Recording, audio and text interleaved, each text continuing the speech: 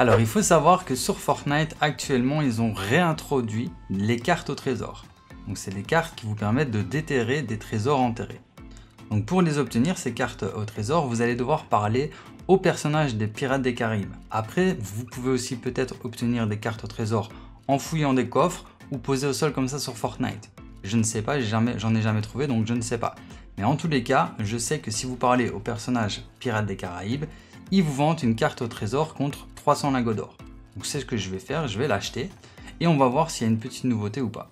Donc quand vous allez vous équiper normalement de la carte trésor, ça va vous indiquer l'emplacement du trésor. Donc effectivement, vous avez vu, il y a une petite flèche qui vous indique l'emplacement et on peut voir aussi dans le ciel qu'il y a un, un petit euh, faisceau lumineux en or qui vous indique son emplacement.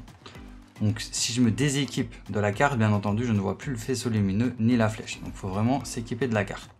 Donc ensuite, vous allez à l'emplacement et normalement, dans le sol, il y aura une croix où vous allez pouvoir euh, piocher pour déterrer le trésor. Donc c'est ce qu'on va voir. Donc regardez là, quand j'ai la carte, on voit la croix. Et même quand j'ai pas la carte, on voit la croix. Mais à mon avis, c'est parce que j'en suis équipé dans mon inventaire. Donc maintenant, pour déterrer le trésor, j'ai juste à piocher le sol. Et voyons voir ce qu'on obtient. Ah oui, on obtient un coffre, comme à l'époque, si je me trompe pas, avec des petits coquillages euh, ben, sur le coffre, qui euh, ben, vont euh, vous, vous donner du loot. Donc là, je l'ouvre, et j'ai obtenu... Oh Ah oui, j'ai carrément obtenu un bateau en bouteille. Donc peut-être qu'à chaque fois, vous allez pouvoir obtenir un bateau en bouteille. Donc c'est ce qu'on va faire. En plus, ça nous donne obligatoirement un pistolet à silex. C'est intéressant. Ce que je vais faire, c'est que je vais retourner près du personnage, voir si je peux lui acheter une deuxième carte. Alors je pense pas, je pense que c'est une carte par personnage. On va quand même tester. Alors voyons voir. Et effectivement, c'est qu'une seule carte par personnage. Donc là, ce que je vais faire, c'est que je vais aller voir un autre personnage. Et cette fois-ci, on va aller parler à David Jones. Donc qui est juste en face de moi. Hop, alors lui, il me vend aussi une carte, donc on va l'acheter et on va voir s'il va me donner le même butin. Ok, donc on déterre le coffre et voyons voir ce qu'il y a à l'intérieur. On va essayer de s'éloigner direct. Donc on peut voir qu'il y a euh, de l'or, 250 d'or. On a encore un bateau, un bateau en bouteille et on a encore un pistolet à silex. J'aimerais bien voir si je peux obtenir deux bateaux en bouteille dans une seule et même partie. Donc on va essayer. Et pour le tester, ce que je vais faire, c'est carrément demander pour acheter deux cartes. Donc je peux pas acheter deux cartes au même personnage, mais si je parle à deux personnages, est-ce que je peux avoir deux cartes dans mon inventaire? C'est ce qu'on va voir, on va tester ça tout de suite. Alors voyons voir si Elisabeth me vend une carte aussi. Donc hop, je l'achète. Et non, on ne peut pas avoir deux cartes sur soi. Mais est-ce que si... Attendez. Alors est-ce que les cartes mènent au même emplacement? Donc c'est ce qu'on va voir. Si je prends celle-là, donc celle-là, elle m'emmène vers la droite.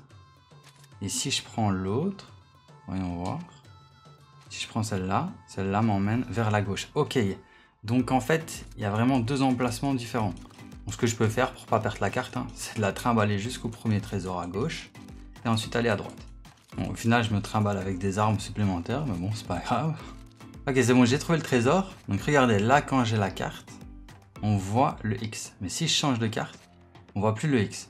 Mais est-ce que je peux quand même... Ah ouais, je... Mais attendez. Là, je déterre le trésor. Mais j'ai pas la bonne carte.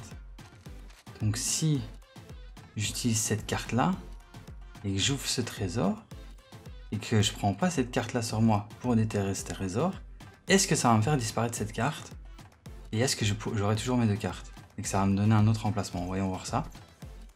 Ok, donc la carte est toujours là. C'est une dinguerie ça Attends, Vas-y, j'ouvre le, le, coffre. Là, j'obtiens ce qu'il y a. Ah Ah ouais, ok, dommage. ça aurait été trop cheaté. Mais euh, enfin, ça aurait été bien quoi. J'aurais pu garder mon ma carte. Ça m'aurait peut-être donné un autre emplacement de trésor. Mais apparemment non, ça marche pas comme ça. Apparemment, il n'y a qu'une seule carte. Enfin, si je comprends bien, quand vous lancez une partie, il y a quatre coffres enterrés. Vous pouvez trouver l'emplacement par chance. Hein. C'est possible, mais il faut vraiment être cocu. Mais voilà, si vous, si vous trouvez un coffre par chance, ça détruit automatiquement la, la carte.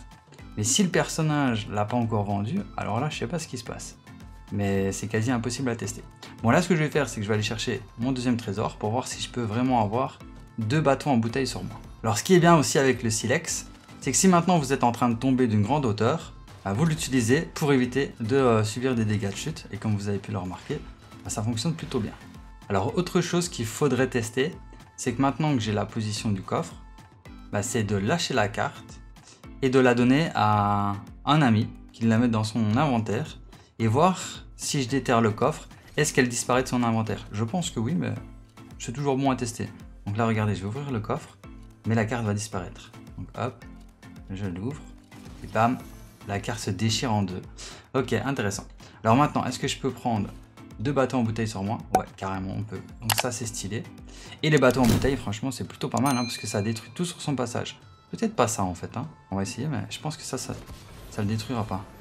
Non, ça le détruit pas, mais ça fait un petit, un petit coup de boost. Après, ça détruit tout ce qui est destructible sur son passage, donc c'est plutôt pas mal. Et ça fait pas mal de dégâts, je pense que ça fait 50 ou 100 de dégâts aux adversaires, si je me trompe pas. Je crois que c'est 100 de dégâts. Donc euh, s'il a pas de bouclier, vous pouvez le one-shot. Et regardez un peu son efficacité. C'est super stylé et cheaté. Donc voilà, c'est tout pour cette petite vidéo d'information. Si vous en savez plus à propos des cartes au trésor, que vous avez trouvé des astuces ou même des petits glitches, bah, n'hésitez pas à le partager en commentaire. Good